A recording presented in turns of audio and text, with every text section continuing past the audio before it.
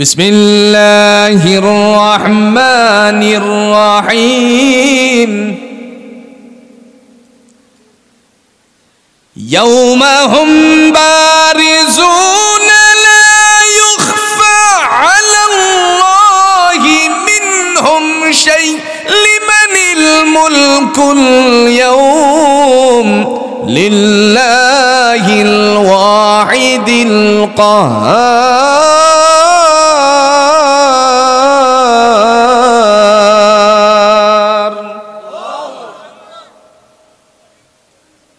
কে বলছেন?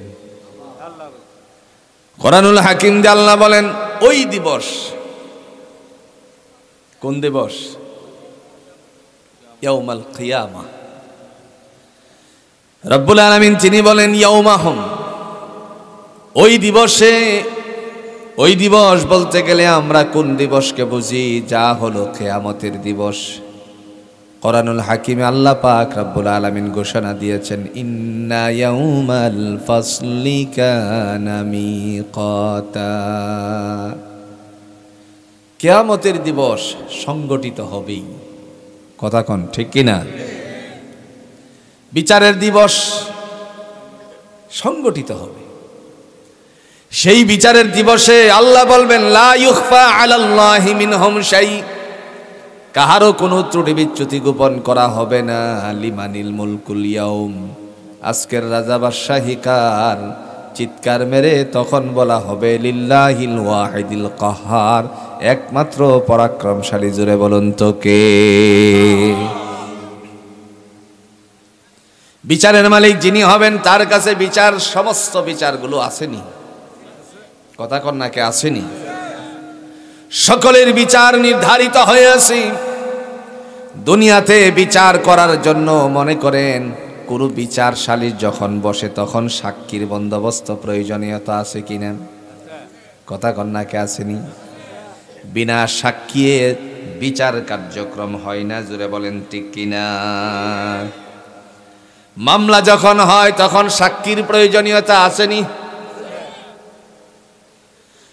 বর্তমান সময়ে অপরাধী না, বিনা অপরাধে মানুষ জেল কাটে, শাস্তি হয়। কথা কন না কেন? যদি বলা হয়, আপনি কোন দায়িত্ব পালন করেন, তখন বলা হবে, উত্তরে বলবে আমি, গোয়েন্দা বিভাগের বড় চাকরি করি, বড় দায়িত্ব পালন করি। গোয়েন্দা বিভাগের দায়িত্ব পালনরত যারা থাকে, তাদের দায়িত্ব হলো, সিআইডির দায়িত্ব হলো, গোপনীয়তা উদ্ঘাটন করা। কিন্তু দেখা যায় বিভিন্ন মায়ের পেসের ভিতরে ভরে, মায়ের পেসের ভিতরে পড়ে পড়ে তারপরে সত্য গোপন করে মিথ্যাবাদী সাদায়া শাস্তি দেয়। নাই মন? কথা কন্যা কেড়ে নাই মন? সাক্ষী ছাড়া বিচার কার্যক্রম শুরু হয় না। সাক্ষী ছাড়া বিচার হয় না। কথা কন। কিন্তু সাক্ষীটা কেমন হবে?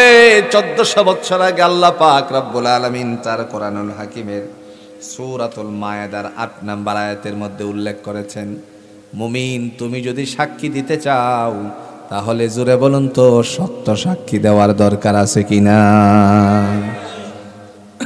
সাক্ষী দিবে, এই সাক্ষী হতে হবে সত্য। না মিথ্যা? কে বলছেন? يا أيها الذين آمنوا كونوا قوامين لله شهداء بالقسط মহান আল্লাহ রাব্বুল আলামিন ডাক দিয়া বলেন ইয়া আইয়ুহাল্লাযীনা আমানু হে বিশ্বাসীরা হে ঈমানদাররা ন্যায় সাক্ষ্য দানের ব্যাপারে তোমরা অবিচল থাকবে। সত্য সাক্ষী দেওয়ার ব্যাপারে তোমরা কোনো সময় এদিক সেদিক চলবে না। মায়ের পেছের ভিতরে পড়বে না। জীবন যা কার থাকুক জুড়ে বলুন, সত্য সাক্ষী দেওয়ার কথা বলছেন কে?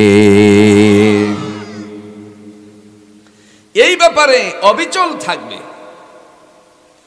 ওয়ালা ইয়াজরিমান্নাকুম শানাআনু মহান আল্লাহ রাব্বুল আলামিন দেখে বলেন এতে করে যদি তোমাদের প্রিয়জনদের কোনো ক্ষতিও হয় মনে করেন সত্য সাক্ষী দিতে গেলে গুম করে ফেলার সম্ভাবনা আসেনি কথা কইতেন না। ডরাইতাছ। সত্য সাক্ষী দিতে গেলে জোরে কন্ত গুম করার সম্ভাবনা আছে কিনা? ইতিহাস সাক্ষী দিয়েছে বাংলার জমিনে। এ বাংলার জমিন ইতিহাস সাক্ষী দিয়েছে ভাই। দীর্ঘ পঞ্চাশটা বছর কোরআনের তাফসির করে গোটা ওয়ার্ল্ডের মধ্যে যিনি আল্লাহর পতাকা, আল্লাহর কথাগুলো উপস্থাপন করেছিলেন দাইল আল্লাহর কাজ করেছে। তারও সাক্ষী শেষ পর্যন্ত চোখের পানি সেরে সেরে জগতের মানুষের কাছে বুঝাইয়া দিছে আমি যার সাক্ষী দিয়েছি, ইচ্ছে করে দেই নাই আমারে সাক্ষী না দেওয়ার কারণে। আমি সত্য দেওয়ার কারণে আমারে গুম করে ইন্ডিয়ায় পাঠাইয়া দিছে।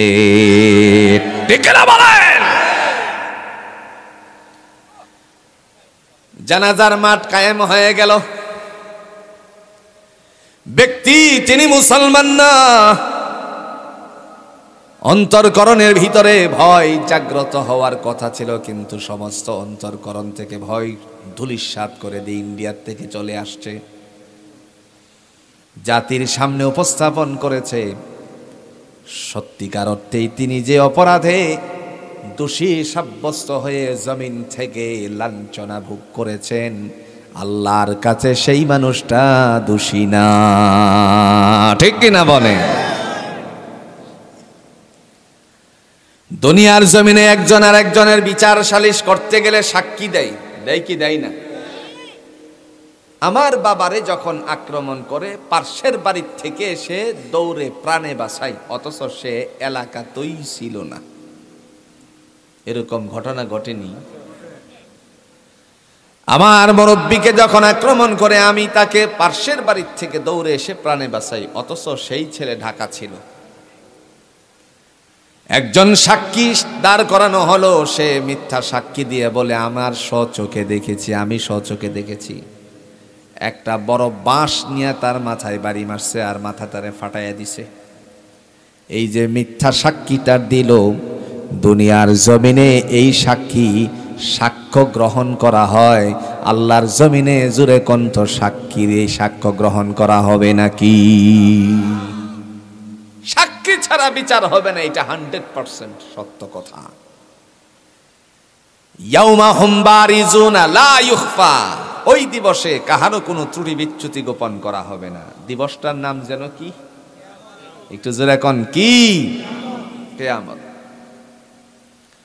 ওই কেয়ামতের ময়দানে মহান আল্লাহ রাব্বুল আলামিন মানুষগুলোকে যখন একত্রিত করবেন, তখন সাক্ষী ছাড়া বিচার আল্লাহ নিজেও শুরু করবে না কারণ আল্লাহ জানে, জগতের মানুষের কাছ থেকে সাক্ষী নিলে পরে খালাত্ত ভাইয়ের, ফুফাতো ভাইয়ের, মামাতো ভাইয়ের টান টানতে পারে।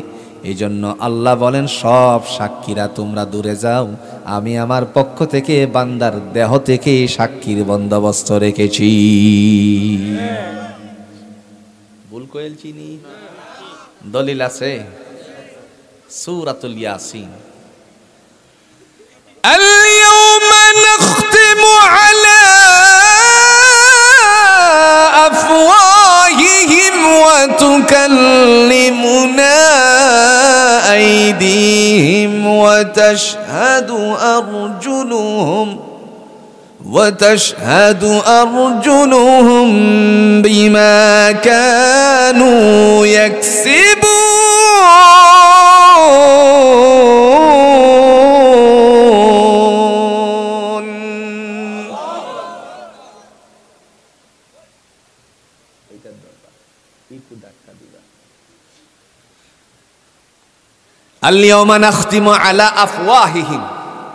আল্লাহ বলে, সাক্ষী শুরু হয়ে গেছে। খালাত্তো ভাই নি কথা কন না, খালাতো ভাই ফুফাতো ভাই মামাতো ভাই তালতো ভাই। দলের নেতা, কথা কন। দলের নেতা, নাকি রাইতের বেলা মারার নেতা? আসেনি?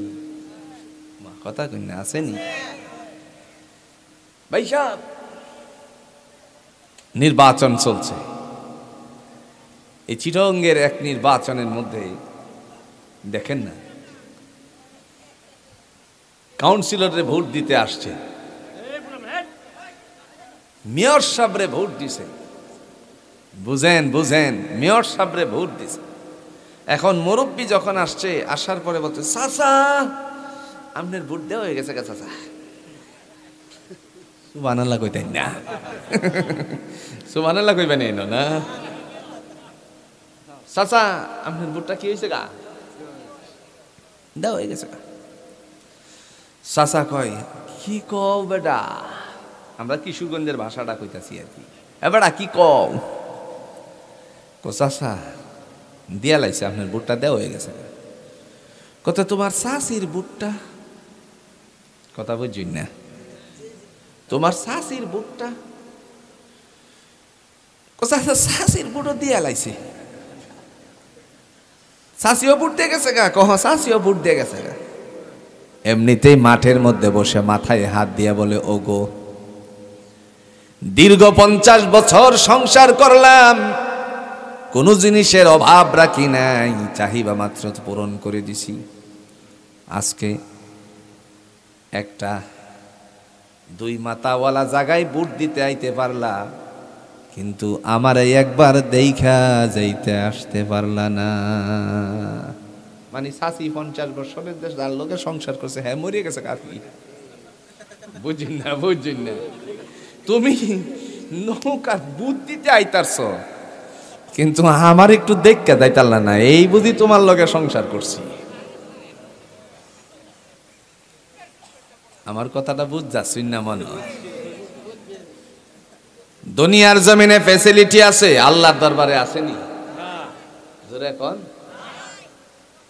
অধিকার হরণ করা দুনিয়াতে থাকতে পারে, কিন্তু আল্লাহর দরবারে অধিকার হরণ করা কাহার পক্ষে সম্ভব নয়।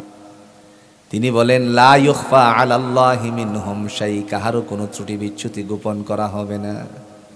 লিমানিল মুলকুল ইয়াউম, আজকের রাজা বাদশাহী কার লিল্লাহিল ওয়াহিদিল কাহার।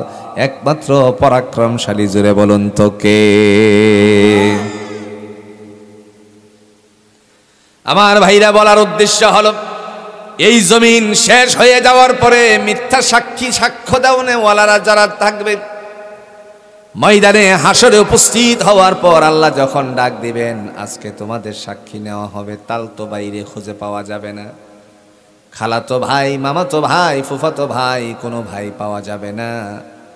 সমস্ত ভাইয়েরা, ইয়া নাফসি ইয়া নাফসি বলে তারপরে আল্লাহর সামনে উপস্থিত হবে, জোরে কণ্ঠে কিনা আল্লাহ তখন বলবে, মারো, কি মারতো? জোরে কন্যা কি মারতো? করে, আমরা কি কই এটা রে? জোরে জোরে কি বলি? হ্যাঁ বাসি বাসি ফু দেও। যখন বলা হবে, মারো, তখন দায়িত্বশীল ইসরাফিল আলাইহি সালাম তিনি তার দায়িত্ব পালন করে। এই দায়িত্ব পালন করার পর ঘুম থেকে জাগ্রত হয়ে সবাই আল্লাহর দিকেই রওনা করে। হুকুম কার? আল্লাহ الصور فإذا هم من الأجداث إلى ربهم ينسلون ونفخ في الصور فإذا هم من الأجداث إلى ربهم ينسلون قالوا يا ويلنا من بعثنا من مرقدنا؟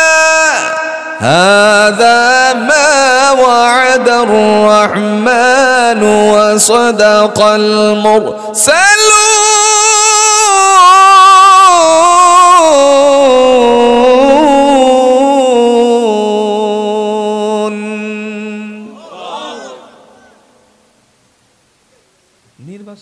নাই না কি এমনি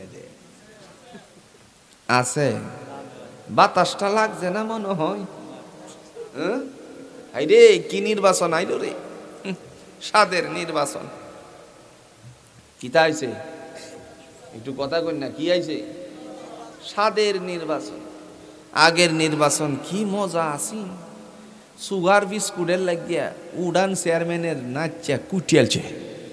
কথা কন না কেন? মুড়ি আর গুড়ের চা। আর মুহের মধ্যে তো লাগাইতো, লম্বা হরিটার নাম নাকি? বোমা বোমা। আহারে, কি যে নাচা আছে। আর কি খাওয়া আছে। এখন সব জাকালি মেইন রাস্তাতে টিক টিক, বাজায় বাজায়। ফুলা পাইনতে এমপি চেয়ারম্যানের বাড়ির সামনে নাচে গিয়ে দেখে কেউ নাই, সব টিক টিকাইয়া গেছে গা কিশোরঞ্জ করতো। কথা কয় আছে না নাই? স্বাদের নির্বাচন। এই নির্বাচন যেমনে হারে, যেমনে যা যাক, আমরা আল্লাহর নির্বাচনটা করি ইনশাল্লাহ তাইলে আল্লাহ ছোট না বড়? একটু জোরে কোন, আল্লাহ ছোট না বড়? বড়। যে বড় যেহেতু, আওয়াজটা হইব ছোট নাকি? বড় হইব তো? আল্লাহ বলছে। ونفخ في الصور فإذا هم من الأجداث إلى ربهم ينسلون.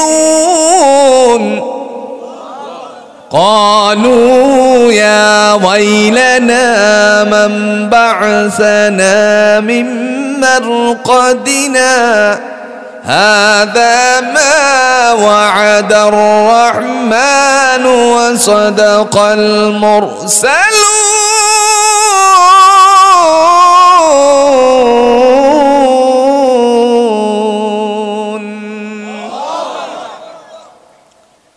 আল্লাহ বলেন ওই দিবসটার কথা বলতে গিয়ে বললেন অনুফিখা ফি সুরিফা ইদা হুমেনাল আজদাস যখন সিংহাডুগো ফুৎকার দেওয়া হবে কবরগুলো উন্মোচিত হবে। মানুষেরা কবর থেকে উঠবে, উঠে দৌড়ে দৌড়ে হাসরের দিকে রওনা করবে। বান্দারা ঘুম থেকে ওঠার পরে একটা আওয়াজ দিয়ে বলবে, কে আমাদেরকে নিদ্রা থেকে জাগালো? ও মনে করেন। ও মনে পড়ে গেছে গা। মহান আল্লাহ পাক রব্বুল আলামিন ওই দিবসের কথাই তো আমাদের সাথে অঙ্গীকার করেছিলেন। ঠিক কিনা বলেন? সেখানে যখন উপস্থিত করা হবে, আল্লাহ বলেন, সাক্ষী ছাড়া বিচার হবে না। এই মুহূর্তে ডেকে বলবে আলা যারা মিথ্যা সাক্ষী দিছিলে দুনিয়ায়, তোমাদের জবানটা বন্ধ করে দেওয়া হলো। অতুকাল্লিমুনা আইদিহিম। হাতকে বলা হবে, হাত রে, তুই কি জানিস? তুই বল, হাত এবার সাক্ষী দিবে আল্লাহ। মানুষের উপকারের জন্য দেহের সাথে মিটিং করেছিলেন। কল্যাণকর কাজ যেন করতে পারি, মানুষটাকে যেন উপকার করতে পারি, সেই জন্য তার দেহের সাথে আমারে ফিটিং করে দিয়েছিলেন। কিন্তু আমি এই হাত দিয়ে অপরের মাল চুরি করছে। আছে কিনা কন? এই হাত দ্বারা একটা কাশি নিয়ে, খাসা নিয়ে রওনা করেছে, অপরের জমিনের ধান কেটে নিজের গরুটারে মোটা তাজা করছে। আছে কিনা কন? আপনাদের এলাকায় মনে হয় পরের ধান কাটে না। হাত সাক্ষী দিয়ে বলবে, আল্লাহ, তুমি বান্দার সাথে যেন উপকার করতে পারি, সেই জন্য দুনিয়াতে তার দেহের সাথে ফিটিং করেছিলে। আর শিক্ষার মান উন্নয়নের উদ্দেশ্যে তারে তুমি একজন সর্বোচ্চ শিক্ষিত বানিয়েছিলে, দুনিয়ার বিচারক বানাইছিলে। তারপরে তার হাতে একটা কলম উঠাইছিলে। নাম কি? যেরকম নাম কি? কলম উঠিয়েছিলে। আল্লাহ আমার এই হাতের মধ্যে কলম কানা সে নিয়ে নিরপরাধ মানুষরে অপরাধী সাব্যস্ত করে খোসা মারছে। বন্ধু, দুনিয়ার জমিনের বিচার শেষ নয়, পরকালের জমিনের বিচার জুড়ে কোন আছে কিনা? এই হাতের দ্বারা সাক্ষী গ্রহণ করা হবে। এই হাত যখন সাক্ষী দিবে, আল্লাহ বলেন ও তোমার সাক্ষী গ্রহণ করা হবে হয়তো বান্দার পক্ষে দিবে, নয়তো বিপক্ষে। বান্দার যদি পক্ষে দেয়, তখন তার শান্তির কোনো শেষ নাই। বিপক্ষে দিলে অশান্তির জোরে কোনো শেষ আছে নাকি? ডেকে ডেকে বলা হবে, হাত রে, তুই কি জানিস বল, হাত এবার পক্ষে দিবে, নয়তো বিপক্ষে? কোন কাজে পরিচালিত করা হয়েছিল? কোন অন্যায় কাজটা এই হাতের দ্বারা করা হয়েছিল? এই হাতের দ্বারা কার মাল চুরি করা হয়েছিল? ম্যানেজিং এর দায়িত্ব পালন করতে গিয়ে, ম্যানেজারের দায়িত্ব পালন করতে গিয়ে মালিকের ক্যাশ থেকে কখন টাকা চুরি করেছিল? এই হাতের দ্বারা কখন মোবাইলটা ঘরের ভিতর থেকে জানালা দিয়ে কাঠি দিয়ে তারপরে নিয়েছিল? এরকম মানুষ মনে হয় নাই। না, আপনারা এনো নাই গে। এই হাত দ্বারা কখন কাকে বিপদগ্রস্ত করেছিল? এই হাতের দ্বারাই বিনা অপরাধে সাব্যস্ত ব্যক্তিরে তারপরে হাত করা লাগাইছিল। কথা কন না কেন? বিশাল। জোরে বলুন তো, আল্লাহর কাছে আসেনি। সব রেখা হয়ে গেছে, রেকর্ড হয়ে গেছে। আমরা ইতিহাসের পাতা থেকে স্মরণাক করে নিয়েছি। আল্লাহর কোরআন আমাদেরকে শিক্ষা দিয়েছে। তিনি ডেকে ডেকে বলেন, বান্দার হিসাব রক্ষক হিসাবে তোমার একটা খাতা থাকে, আর আমি আল্লাহ বড় হিসাব রক্ষক। আমার কাছে হজুরে বলুন তো, খাতা আছে কিনা? ওয়ামা আদরাকা মা নবী গো, ইল্লিয়ুন সম্পর্কে আপনি কিছু জানেন নাকি? সিজ্জিন সম্পর্কে কিছু জানেন নাকি? জবাবে আল্লাহ পাক রব্বুল আলামিন তিনি ডাক দিয়া বলেন, কিতাবুম মারকুম। সেটি হলো হিসাবের খাতা। এই হিসাবের খাতার মধ্যে কোনো ভুল উঠানো হয় নাই, মিথ্যা উঠানো হয় নাই। যে যা করেছে সবগুলো লিপিবদ্ধ করে রেখেছেন কে?